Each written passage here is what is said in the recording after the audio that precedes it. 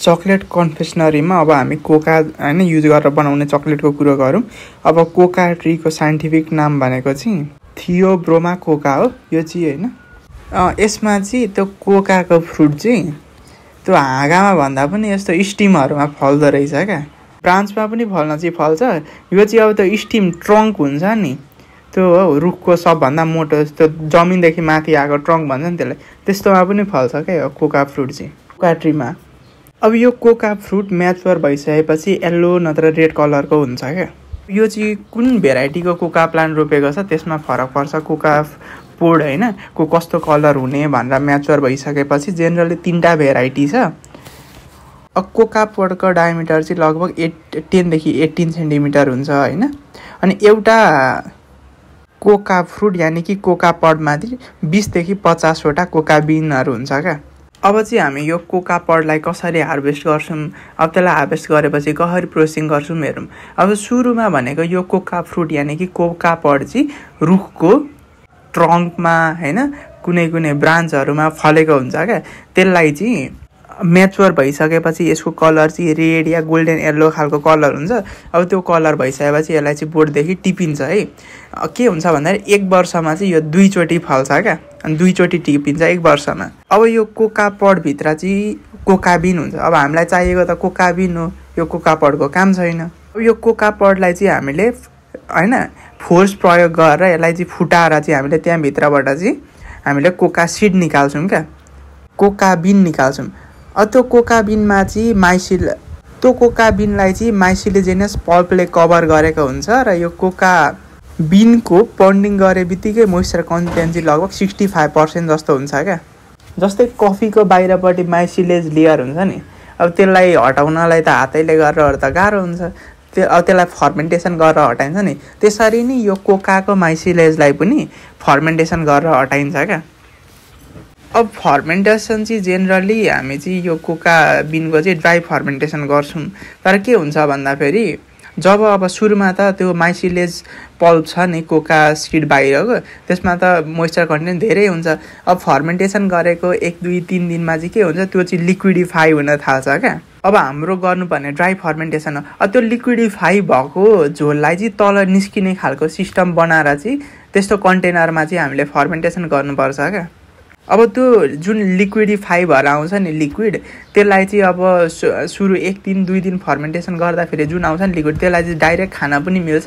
त्यहाँपछि अरू लिक्विडहरूलाई चाहिँ जस्तै हामीले वाइनहरू बनाउँछौँ नि त्यसरी नै फर्मेन्टेसन गरेर खान चाहिँ मिल्छ।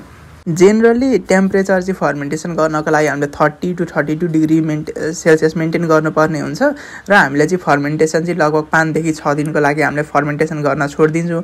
अब यही फर्मेन्टेसनमा चाहिँ फ्लेभर कलर डेभलप हुने हो क्या। अनि यो फर्मेन्टेसन गर्दाखेरि दिनमा चाहिँ लगभग दुई दिन होइन दुईचोटि जस्तो चाहिँ हामीले चलाउनु पर्छ त्यो कोका बिनहरूलाई क्या।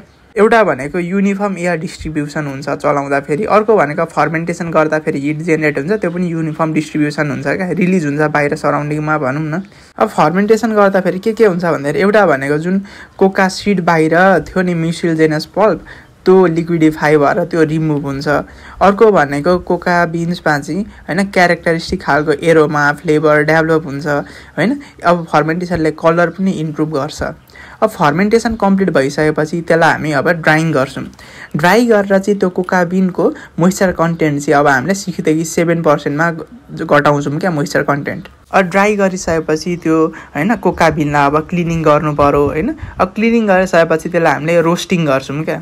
अब होइन यो रोस्टिङ गर्नुभन्दा अगाडि चाहिँ त्यस्तो चक्लेट फ्लेभर चाहिँ डेभलप भएको हुँदैन त्यस्तो धेरै कडा चक्लेट फ्लेभर चाहिँ डेभलप भएको हुँदैन कोकाबिनमा यो रोस्टिङ गरिसकेपछि हो क्या मेन चक्लेट फ्लेभर डेभलप हुने भनेको कोकाबिनमा चाहिँ। रोस्टिङ चाहिँ होइन अब कम्पनीहरूले चाहिँ जुन कफी रोस्टिङ मेसिन छ नि त्यस्तै त्यही रोस्टरलाई नै हल्का मोडिफाई गरेर चाहिँ युज गर्ने हो रोस्टिङ गर्नको लागि। जेनरली कोका बिनलाई चाहिँ one hundred सिक्सटिनदेखि one hundred twenty one degree सेल्सियसमा roasting गर्ने गरिन्छ। अब रोस्टिङ गरिसकेपछि त्यसलाई चाहिँ हामीले होइन ऱ्यापिड कुलिङ गरिहाल्नु पर्ने हुन्छ। सेम जुन कफीमा रोस्टिङ कुलिङ गर्नको लागि युज गर्छ नि मेसिन त्यही मेसिन हो क्या यो कोका बिनलाई रोस्टिङ कुलिङ गर्ने। अब ऱ्यापिड कुलिङ गरेन भने के हुन्छ भन्दाखेरि त्यो कोका बिन बाहिरपट्टि चाहिँ म्युसिले जेनस पल्पको लेयर हल्का हुन्छ क्या त्यो। सबै त फर्मेन्टेसन गर्दाखेरि रिमुभ हुँदैन। अब त्यो चाहिँ सेल लेयर भएर बसेको हुन्छ क्या। अब त्यो ऱ्यापिड कुलिङ गरेन भने चाहिँ के हुन्छ भन्दाखेरि त्यो सेल लेयर चाहिँ खुम्चेर चाहिँ अब कोकाबिनमा टाँसिन्छ जसको कारणले यसलाई रिमुभ गर्नको लागि गाह्रो हुन्छ क्या। त्यही भएर चाहिँ ऱ्यापिड कुलिङ गर्नुपर्छ। अनि अब रोस्टिङ गरिसकेपछि अब ऱ्यापिड कुलिङ गरिसकेपछि कुल भइसकेपछि अब त्यो कोकाबिनमा भएको सेललाई चाहिँ हामीले ब्रेकिङ गर्छौँ क्या। अब त्यो सेल त कोका त्यो निप्स भन्छ क्या। कोका बिन सिड चाहिँ के हुन्छ भन्दाखेरि भारी हुन्छ अनि बाहिरपट्टिको सेल चाहिँ के हुन्छ लाइट हुन्छ।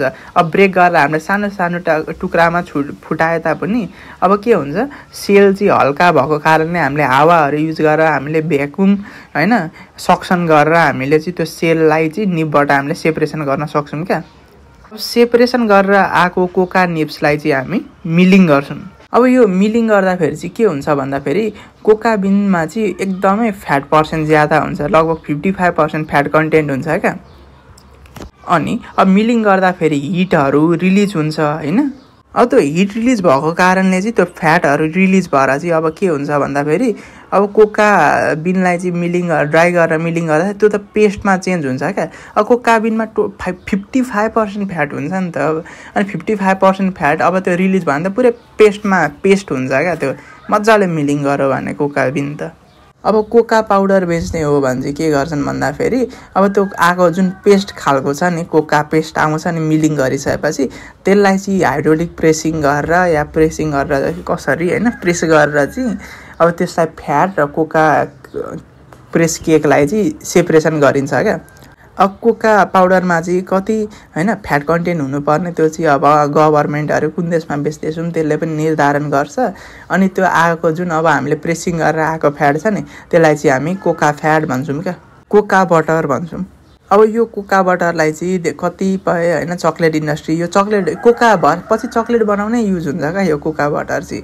जस्तै व्हाइट चक्लेटहरू बनाउन भयो होइन अब चक्लेट मिल्क चक्लेटहरू बनाउन पनि कोका बटर एड गर्ने गर्छ। यो कुका बटरको चाहिँ ठ्याक्कै त्यो चक्लेटको फ्लेभर अर्डर हुने भएकाले यो चाहिँ चक्लेट बनाउनै युज गरिन्छ। अनि अर्को भनेको चाहिँ यो चाहिँ अब ट्वेन्टी फाइभ डिग्री सेल्सियसभन्दा मुनिको टेम्परेचरमा चाहिँ साह्रो हुन्छ। अब ट्वेन्टी होइन लगभग थर्टी फोर डिग्री सेल्सियसमा चाहिँ यो मेल्ट हुन्छ भनेपछि ठ्याक्क चक्लेटको जस्तो क्यारेक्टरिस्टिक्स हुनुपर्ने हो। यो कुका बटरको त्यस्तै क्यारेक्टरिस्टिक भएकोले चाहिँ हामीले अब यो अब चक्लेटै त हो नि कोका भनेको। त्यही भएर यो चाहिँ चक्लेट बनाउनको लागि युज गरिन्छ। अब चक्लेट बनाउनको लागि हामीलाई के इन्ग्रिडियन्ट चाहिन्छ हेरौँ। अब एउटा भनेको त्यो ब्रेकिङ गरेर कोका रोस्टिङ गरिसकेपछि कोका बिनलाई चाहिँ ब्रेकिङ गरेपछि हामीले होइन कोका निप सेल सेपरेसन गर्छौँ नि त्यो कोका निप चाहियो हामीलाई एउटा। अर्को भनेको अब चक्लेट भनेपछि गुलियो हुन्छ भनेपछि हामीलाई रिफाइन गरेको सुगर चाहियो है। जेनरली सुगरै युज गरिन्छ सुगर।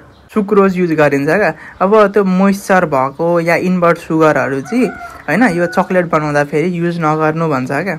त्यसै गरी अब चक्लेट बनाउँदाखेरि हामी कोका बटर एड गर्छौँ होइन। मिल्क चक्लेट बनाउँदाखेरि मिल्क मिल्क पाउडरहरू एड गर्ने गरिन्छ होइन।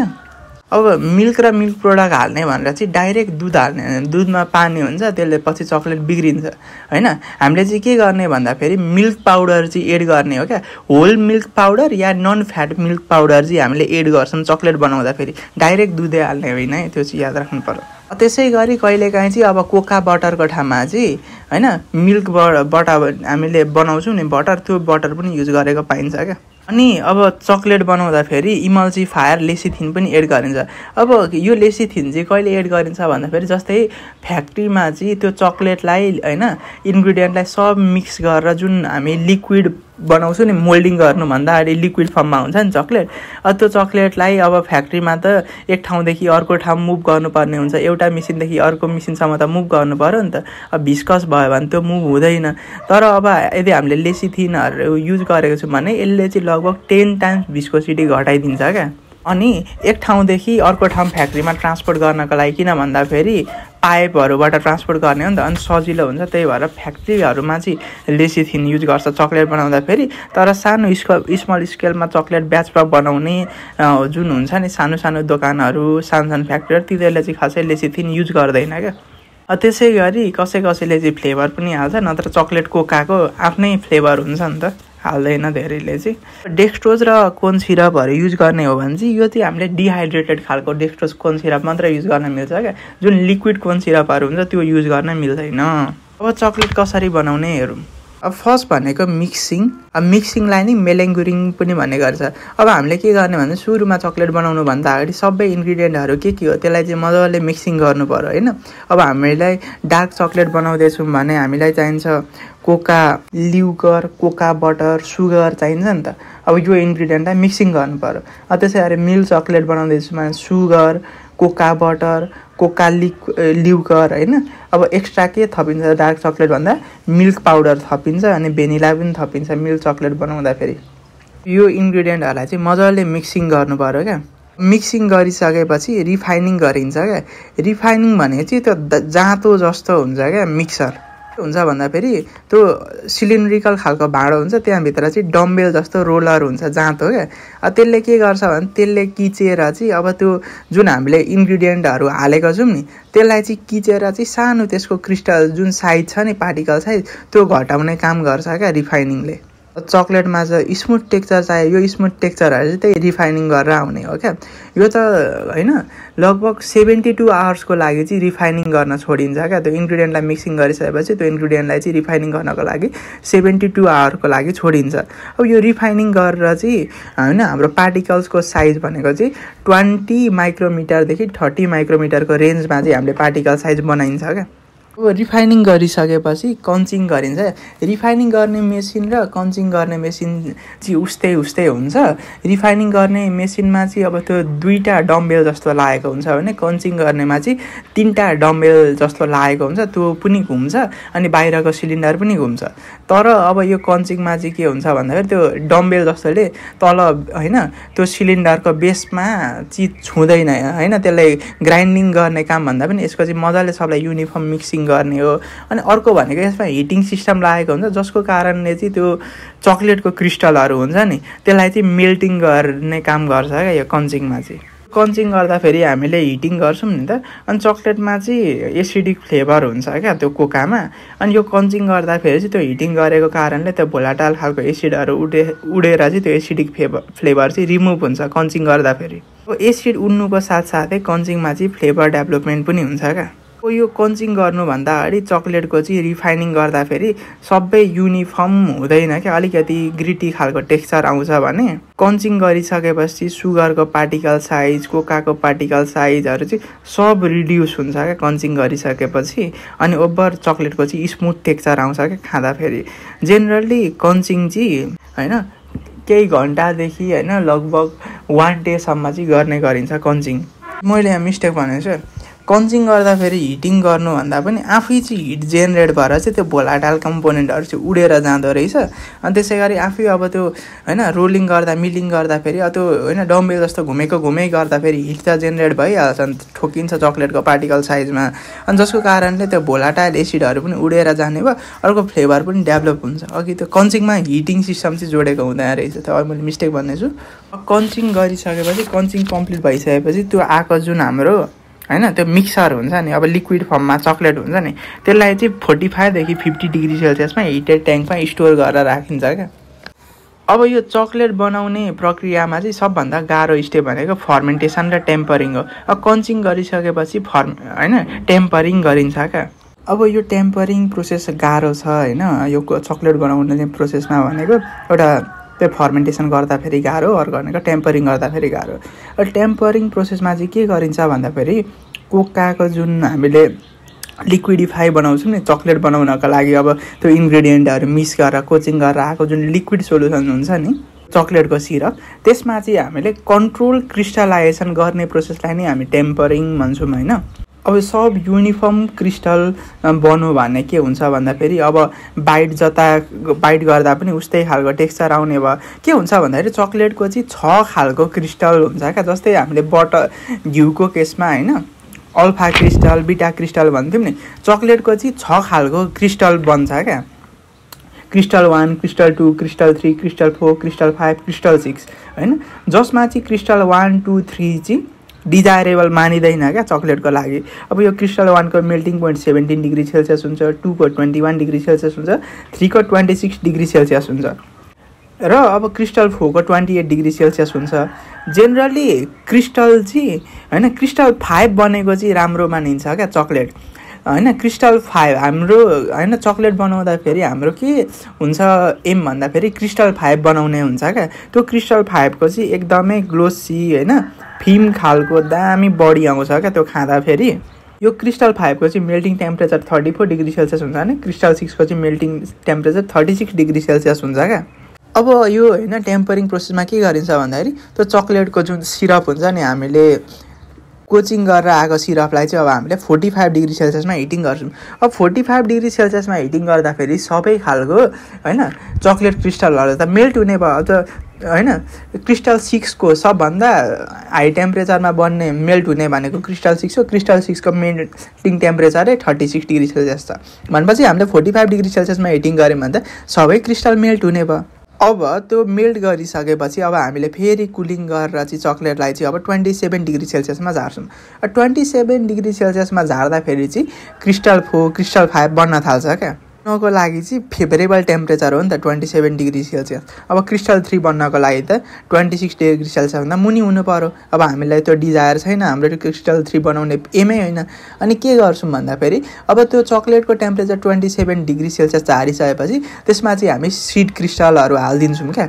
जस्तै पहिला नि बनाएको रेडी भएको होइन त्यो चक्लेटहरू हुन्छ नि त्यो हालिदिने क्या सिड क्रिस्टलको फर्ममा।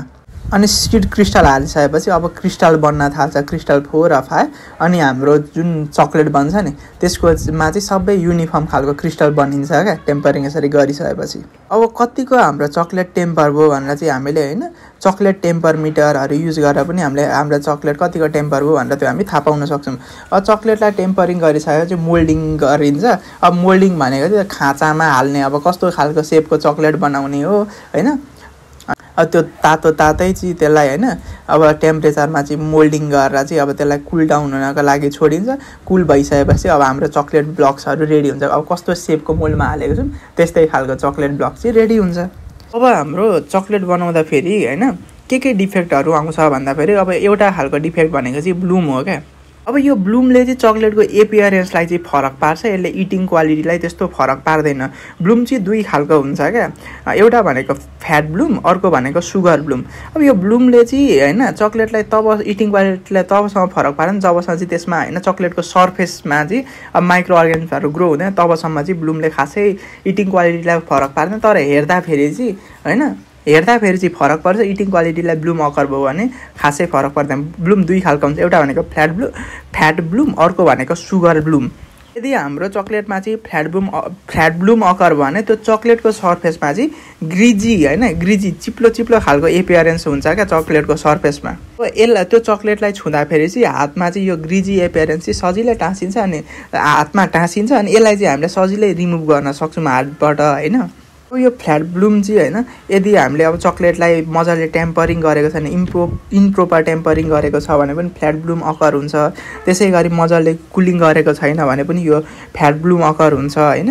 त्यसै गरी चक्लेटलाई त जेनरली कोल्ड स्टोरेज गरेर राख्नुपर्छ नि त। यदि वार्म स्टोरेज कन्डिसनमा राखेको छ भने पनि यो फ्ल्याट ब्लुम अकर हुन्छ होइन। अब त्यसै गरी कोका बटर र फ्याट चाहिँ मजाले इन्क होइन त्यो चक्लेटको लागि इन्कम्पेटेटिबल खालको होइन त्यो चक्लेटलाई नसुहाउने खालको फ्याटहरू युज गरेको छ कोका बटर युज गरेको छ भने पनि फ्ल्याट ब्लुम अकर हुन्छ। अब यसलाई हामीले कसरी प्रिभेन्ट गर्न सक्छौँ भन्दाखेरि चक्लेटलाई चाहिँ हामीले मजाले रिफाइनिङ र कोचिङ गर्नु पऱ्यो क्या। अब मजाले रिफाइनिङ र कोचिङ गर्दाखेरि चाहिँ जुन सोलिडहरू हामीले इन्ग्रिडियन्टहरू हाल्छौँ त्यसको डिस्ट्रिब्युसन युनिफर्म हुन्छ अनि फ्ल्याट ब्लुम खासै अकर हुँदैन। त्यसै गरी हामीले टेम्परिङ पनि होइन करेक्ट तरिकाले प्रोपरली गर्नु पऱ्यो होइन। त्यसै गरी चक्लेटलाई अब मोडरेट कुलिङ टेम्परेचरमा स्टोर गर्नु पऱ्यो अब त्यो चक्लेटको लागि सुहाउँदो खालको फ्याट होइन कोका बटरहरू युज गर्नु पऱ्यो यसरी चाहिँ हामी फ्ल्याट ब्लुमलाई फ्याट ब्लुमलाई चाहिँ प्रिभेन्ट गर्न सक्छौँ।